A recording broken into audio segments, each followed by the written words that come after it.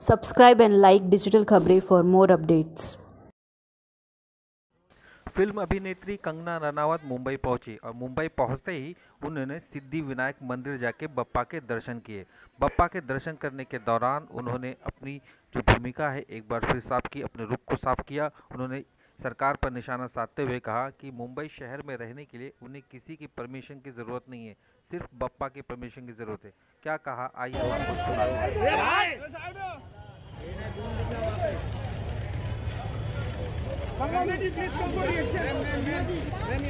एक कैमरा खाली करे ये एबीपी गणपती बाप्पा जय महाराष्ट्र जय विनायक जी अरे मैं गिराओगे क्या?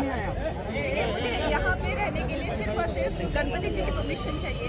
और मैंने किसी से कोई परमिशन नहीं मांगी है सिर्फ़ गणपति जी से परमिशन मांगी मैं परमिशन कंगना जी कंगना जी कंगना जी फ़ोटो कर रहे हैं कंगना जी कंगना जी कंगना जी कंगना मैम कंगना मैम इधर देखिए ना इधर फ़ोटो की कंगना जी कंगना जी कंगना जी कंगना जी कंगना मैम